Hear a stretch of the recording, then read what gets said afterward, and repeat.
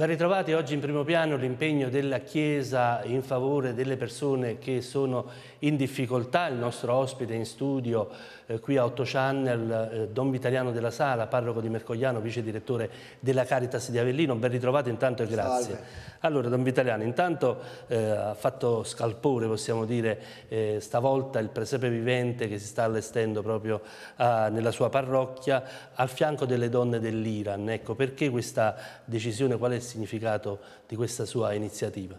Ma perché il presepe deve dirci qualcosa, non può essere solo un, qualcosa di artistico. Sono belli i presepi artistici, però anche in quelli napoletani no? c'è l'osteria, la, la bottega, ci sono i vestiti, eh, ci sono i pastori col volto dei VIP, che è discutibile, però è, è un modo per incarnare il presepe di duemila anni fa nell'oggi. Ecco, io appunto, non, non, volendo mettere volti di VIP, ho pensato eh, qual è il messaggio che, dove nascerebbe Gesù oggi? E ho, ho pensato nascerebbe in Iran, ad esempio, in tanti posti, in Ucraina, ma in Iran forse perché eh, la Madonna è stata una che ha trasgredito a, a, a, dire, a, regole analoghe a quelle dell'Iran. Una donna non poteva decidere per conto suo, eppure Maria decide da sola di diventare madre eh, del figlio di Dio, decide da sola di dargli il nome, che sembrano sciocchezze per noi oggi, ma all'epoca era veramente un, un, modo per trasgredire tradizioni stupide, ma comunque tradizioni rischiose, si, si rischiava la lapidazione. Maria non ci pensa due volte, come le donne dell'Iran rischiano la morte insieme ai loro uomini, insieme a tante persone, per fortuna, nel resto del mondo, e si tolgono quel velo che è simbolo di oppressione. Loro lo vorrebbero mettere liberamente, non vogliono che qualcuno glielo imponga. Ecco, io ho visto la Madonna così quest'anno, una Madonna che si toglie il velo per continuare a dire alle donne, agli uomini di oggi, di ribellarsi a tutto quello che va contro i diritti umani, che, va, che calpesta i diritti certo. delle persone. È un messaggio sicuramente molto significativo. Il dramma dei migranti invece, un anno Don Italiano ha fatto nascere Gesù Bambino su un gommone, il dramma dei migranti che purtroppo non cambia, il Mediterraneo continua ad essere una tomba per migliaia di disperati, nonostante i vari governi che si sono succeduti di diverso colore politico, mi pare che la situazione non è cambiata. Perché? Ma io penso che più che il dramma dei migranti è il dramma della povertà, perché accanto ai migranti ci sono i poveri eh, italiani, insomma, che vengono comunque messi ai margini, come i migranti.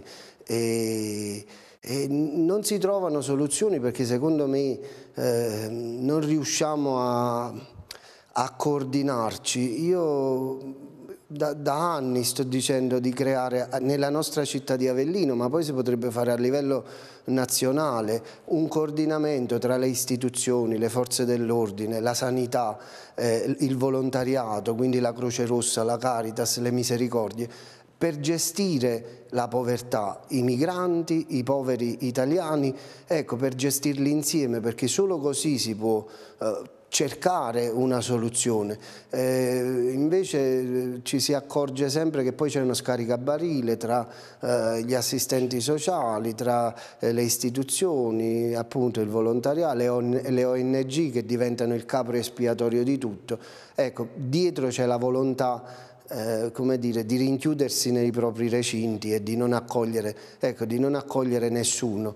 Natale a proposito noi accogliamo il Dio che viene, ma Dio non viene come nello sfarzo, ma viene proprio nella povertà. Dio è un migrante che arriva e che bussa alle nostre porte. Se siamo un'Europa che si, si, spaccia per cristiana, non possiamo fare altro che cercarla, cercarla almeno la soluzione. Non è detto che la troviamo, ma io non vedo nemmeno la, la volontà di cercarla. Ecco, a proposito del dramma dei migranti, è proprio di oggi la notizia di questa tragedia che ha colpito un ghanese che viveva qui e che voi avete accolto eh, presso il centro della, della, Caritas, presso la mensa eh, dei poveri. C'è chi vive un disagio anche di carattere mentale che non trova la necessaria assistenza. Sì, è lo stesso discorso. Adam una persona, eh, era una persona con problemi di epilessia, e di salute mentale. quindi prendeva medicine contro l'epilessia, intanto purtroppo ci beveva sopra, quindi si creava un mix micidiale peggio della droga e quindi a volte sveniva come se fosse molto più che ubriaco e, e restava lì dove era caduto. E probabilmente, e probabilmente è rimasto a terra su quelle strisce questo. pedonali che stiamo vedendo ed è stato travolto e ucciso da un'auto pirata. Sì, anche qui, eh, eh, come dire, allora ci sono avvocati senza scrupoli che si prendono, si fregano perché bisogna dire le cose come stanno, il, il gratuito patrocinio, cercano questi disperati, gli fanno firmare eh, eh l'assegnazione dell'avvocato, prendono i soldi del gratuito patrocinio e poi li scaricano da qualche parte senza più seguirli. Ecco, dopo eh, dovrebbero intervenire gli assistenti sociali, noi del volontariato, le istituzioni ma questo in un mondo ideale che non esiste. Ecco, noi cominciamo eh, proprio prendendo spunto da questo, da questo, fallimento che è di tutti, no? la morte di una persona, una morte così è veramente un fallimento, ma come quella di Sergio Tomasetta nella casa del, eh, in una casa in costruzione, quella di Luciano nel Mercatone. Ecco, quando succede questo adesso eh, faremo la solita riunione in prefettura dove diremo bisogna coordinarsi, poi passano due giorni e finisce tutto. Ecco, o ognuno si prende la propria responsabilità, soprattutto chi viene pagato per far questo. E, oppure veramente è meglio dichiarare fallimento, è meglio dire noi non sappiamo gestirle queste cose. Ecco, a proposito del dramma sociale che si vive ai margini diciamo, della nostra società, eh, il reddito di cittadinanza, se viene cancellato, che cosa potrebbe accadere dal vostro osservatorio? Insomma? Se viene cancellato è una disgrazia. Io mm, voglio sottolinearlo perché poi ti mettono l'etichetta, io non sono dei 5 Stelle. Eh, li rispetto, ma voglio dire, non difendo il reddito di cittadinanza perché appunto lo difendo ideologicamente, ma noi ci siamo accorti nei nostri centri di ascolto che a partire dal reddito di cittadinanza, già prima con il eh, reddito di inclusione, c'era stata una diminuzione di persone che venivano a chiedere Col reddito di cittadinanza ancora di più, cioè noi ci siamo accorti che eh, eh, eh, si è ridotto il numero delle persone che venivano a chiedere, oppure se venivano a ancora a chiedere ci siamo resi conto che chiedevano di meno di se portavano tre bollette eh, dopo il reddito ne portavano una che sembra una sciocchezza. Invece per noi eh, noi abbiamo un budget limitato ovviamente quindi ci siamo resi conto che serviva poi pure, ci rendiamo anche conto, mi rendo conto che eh, ci sono tanti che approfittano, allora bisognerebbe riformarlo sicuramente, sistemare le cose, ma abolirlo del tutto o ridurlo di molto eh, rischia di creare non solo eh, di rigettare nell'emarginazione più nera tantissime famiglie, ma poi eh, Dio non voglia ecco, un, una sollevazione popolare insomma, di persone che non ce la fanno più e questo veramente sarebbe, eh, sarebbe una tragedia. Ecco, spesso parliamo, e ancora una volta lo facciamo in questa fase, di nuove povertà, c'è da fare i conti col caro bollette, con l'inflazione, le famiglie sono in grosse difficoltà. A proposito dei nuovi poveri, alla Caritas che storie arrivano? Ma arrivano storie di, di, di, tutti i tipi, tra le nuove povertà c'è una povertà culturale ad esempio, ragazzi che le scuole o i genitori ci, ci mandano per, per, fargli fare un po' di volontariato perché capiscano che i problemi di, di una persona non possono essere legati solo al cellulare, al nuovo tipo di cellulare, ma ce ne sono. Eh, capita raramente, ma capita per fortuna. Oggi, dopo il lockdown bisognerebbe studiarla questa cosa, c'è un aumento di, di, persone con problemi di salute mentale, che è un'altra povertà, perché noi abbiamo chiuso i manicomi giustamente, ma non c'è un'alternativa. Eh, I reparti di salute mentale, ad Avellino se ho capito bene ci sono otto posti, non so se è una notizia, spero di essere smentito, ma otto posti per una provincia come la nostra veramente sono pochi. Poi si stabilizza il, il, eh, il paziente e si ributta per strada. La sanità non può essere un'azienda cioè dove si guadagna. Eh, cioè, eh, la sanità come la Chiesa è un'azienda a perdere perché non si può speculare e guadagnare su, su, su, sulla salute delle persone. E ancora peggio la sanità privata, perché poi si mandano queste persone eh, a una sorta di, almeno c'è la leggenda della riabilitazione, ma non fanno altro queste strutture private che addormentare queste persone che cominciano a bavarsi, cominciano a non parlare più, lo dico per esperienza, eh, e quindi come dire, o veramente ci rimbocchiamo le maniche, ritroviamo la passione dell'impegno per l'altro, sia come volontari, quindi chi lo fa gratuitamente, sia chi lo deve fare per dovere eh, di ufficio, insomma un medico non può ma con tutto il rispetto e con tutto l'amore, insomma, non può dire eh, che devo farci, dopo otto giorni devo metterlo per strada. troviamo una soluzione.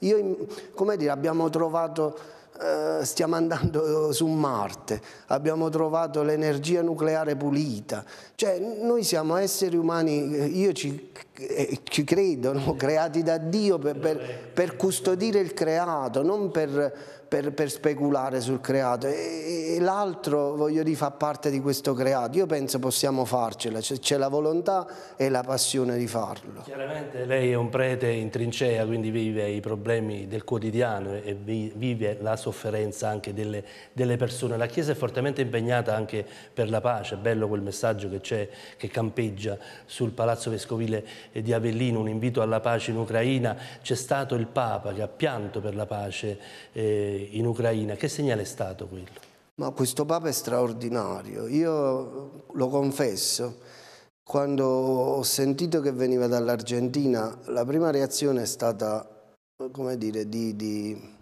quasi di rigetto. Gliel'ho scritto anche, per, per onestà.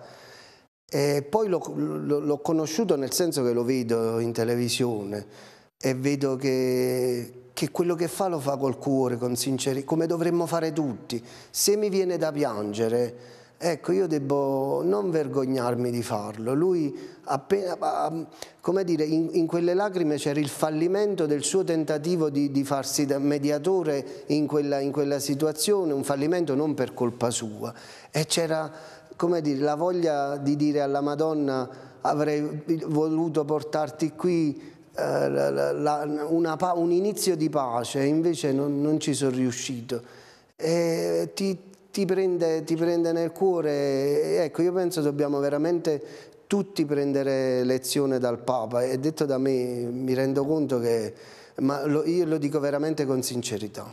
È il momento della solidarietà, ci ricordiamo in questo periodo chiaramente che ci sono anche persone che vivono momenti difficili, questo Natale come va vissuto? Come ha detto il Papa, meno doni, meno scambi di regali tra noi e più attenzione ai poveri. Ma io non vorrei deprimere l'Irpini, no? anzi vorrei concludere, concludere, non so se concludiamo, ma con una nota di speranza, con una nota di speranza che è reale, non è un modo di dire.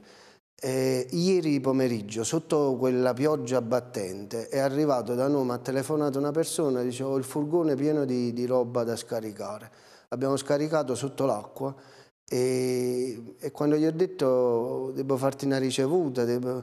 lui ha detto no, no, io l'ho fatto senza nessun secondo fine perché sentivo di farlo. E come questa persona ci stanno decine di, di dalle, azi, dalle grandi aziende alimentari alla vecchietta che, che, che, porta la busta della spesa, oppure se non ce la fa ci chiama e ci dice eh, potete venirla a prendere. Noi ci andiamo, pure se forse ci mettiamo più nafta che, che insomma vale più la nafta, spendiamo più di nafta che quella, ma quella busta di spesa o quella 10 euro, quella 5 euro che ci danno, ecco, rappresenta veramente il cuore della nostra terra. E probabilmente noi, eh, ecco, le istituzioni, il volontariato dovrebbe prendere lezione proprio da queste, da queste persone semplici che nella loro semplicità danno ecco, quello che, che possono. Oggi una, una, persona anziana che prende 500-600 euro di pensione, ecco, gli costa fare, fare, comprare una busta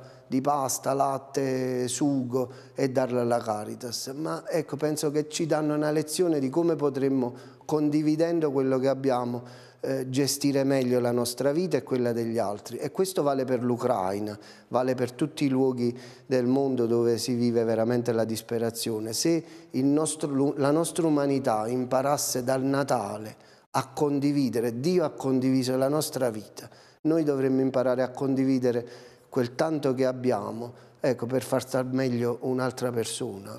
Forse Beh. non risolveremo i problemi dell'umanità, ma risolveremo il problema di quella persona che già è tanto. Bene, grazie per questo bel messaggio naturalmente Don Vitaliano della Sala e complimenti per l'impegno e la grande passione che ci mette nella sua missione pastorale. Ma non è mia, è la Chiesa di Avellino che, che si impegna in questo, perché io, come dico, il volto televisivo, ma dietro c'è tutta, c'è tanta, c'è il vescovo che, certo. che, ogni giorno mi chiede ci sono problemi, ci sono i giovani volontari, gli anziani che vengono a fare volontariato e poi ci sono i preti che raccolgono nelle loro parrocchie, ci sono tantissime persone che aiutano la Caritas a vivere. Ecco, io approfitto per fare gli auguri a tutti coloro che ci stanno ascoltando. E naturalmente ricambiamo questi auguri e grazie a tutti coloro che si impegnano naturalmente nella Caritas diocesana eh, di Avellino. Abbiamo concluso, il regia per noi Aldo Fenizia, grazie a voi che ci avete seguito, arrivederci.